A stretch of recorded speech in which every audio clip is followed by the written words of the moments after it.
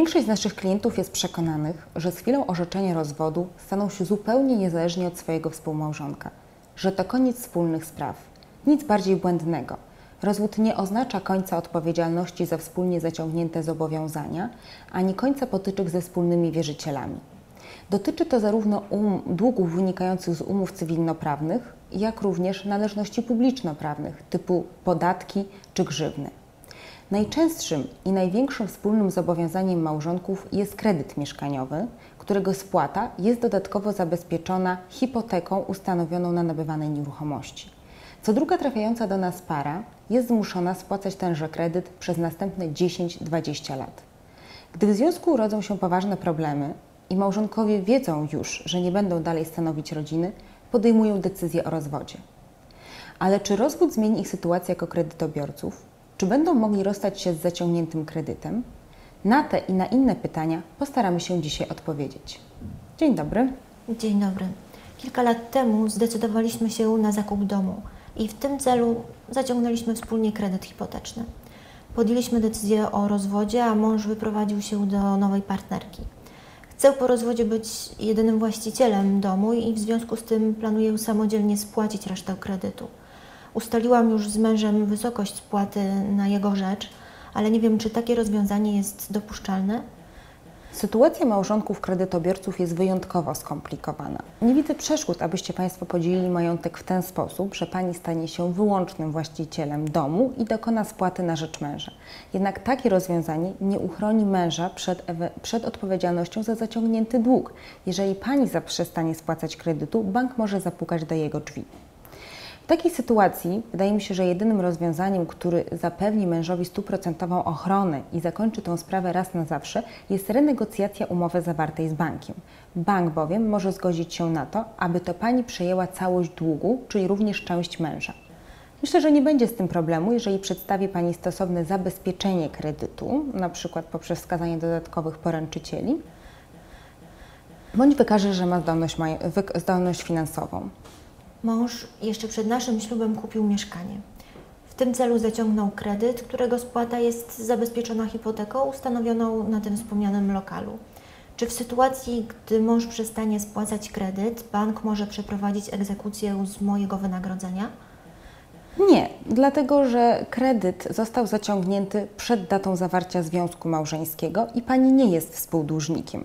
W takiej sytuacji, w razie problemów ze spłatą kredytu, bank będzie mógł się skierować tylko do jego majątku odrębnego oraz do następujących elementów majątku wspólnego: wynagrodzenia za pracę męża, dochodów z tytułu innej działalności oraz zysków z praw autorskich, praw pokrewnych i praw majątkowych. Zatem Pani wynagrodzenie zostaje w pełni bezpieczne, bo stanowi tą część majątku, do którego bank nie ma dostępu. Mąż w trakcie małżeństwa pożyczył od kolegi kwotę 2000 zł. Przeznaczyliśmy je na bieżące opłaty, czynsz, media, żywność. Mm, po rozwodzie kto będzie odpowiadał za zaciągnięte zobowiązania? Zobowiązania, zobowiązania zaciągnięte na taki cel jak y, opłata za media, czynsz, żywność, ubrania, opieka medyczna kwalifikowane są jako zwykłe potrzeby rodziny. W takiej sytuacji małżonkowie odpowiadają wspólnie i solidarnie. Nie ma tutaj znaczenia, czy to pani zaciągnęła kredyt, czy też mąż. Dlatego też nie uchroni to pani niestety od odpowiedzialności za zobowiązania zaciągnięte na ten cel. A co to znaczy, że odpowiedzialność małżonków y, jest solidarna? Oznacza to, że wierzyciel, na przykład bank, może według swojego wyboru żądać spłaty całego zobowiązania od obojga małżonków łącznie, bądź od każdego z osobna. Wasza odpowiedzialność będzie obejmowała zarówno Wasz majątek wspólny, jak również majątek odrębny. Tego typu odpowiedzialność występuje przede wszystkim przy umowach kredytowych oraz przy pożyczkach. Mój mąż ma obecnie długi z tytułu prowadzonej e, działalności gospodarczej. Zaciągnął je bez mojej zgody. Czy e, wierzyciele będą mogli zaspokoić się z moich dochodów? Z przykrością muszę Panią poinformować, że odpowiedzialność podatnika i jego małżonka za zobowiązania podatkowe jest dużo surowsza niż odpowiedzialność wynikająca z umów cywilnoprawnych. W takiej sytuacji e, Skarb Państwa mógłby skierować egzekucję nie tylko do majątku odrębnego pani męża, ale również i do majątku wspólnego podatnika i współmałżonka, czyli pani wynagrodzenie za pracę również w tym momencie jest zagrożone. Niemniej jednak mieszkanie, które otrzymała pani w spadku, stanowi pani majątek odrębny i w tym przypadku będzie bezpieczne. Zawsze, gdy mąż starał się o kredyt lub pożyczkę związaną z jego działalnością, bank uzależniał udzielenie kredytu od złożenia przeze mnie zgody na zaciągnięcie tego zobowiązania. W umowie z bankiem jako kredytobiorca funkcjonował jedynie on. Czy w takim razie, w razie problemów ze spłatą, ja też ponoszę odpowiedzialność? Niestety tak. Oświadczenie, którego wymaga bank, jest formą zabezpieczenia spłaty kredytu. Pomimo tego, iż wyłącznym dłużnikiem jest tylko mąż, w, racji, kiedy pani, w sytuacji, kiedy Pani udziela takiej zgody, otwiera Pani wierzycielowi możliwość sięgnięcia do całości Państwa majątku wspólnego, w tym do Pani rachunków bankowych czy dochodów. A czy ustanowienie rozdzielności majątkowej uchroni mnie przed y, odpowiedzialnością za długi przez niego zaciągnięte, czy z kolei lepiej poczekać na orzeczenie mm, przez sąd rozwodu?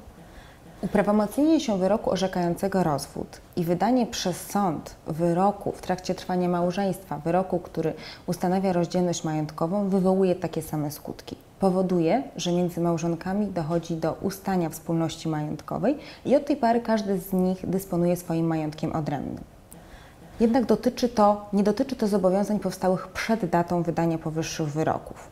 Również umowa o ustanowienie rozdzielności majątkowej tutaj się Państwu nie przyda, bo nie wywiera skutków wstecz.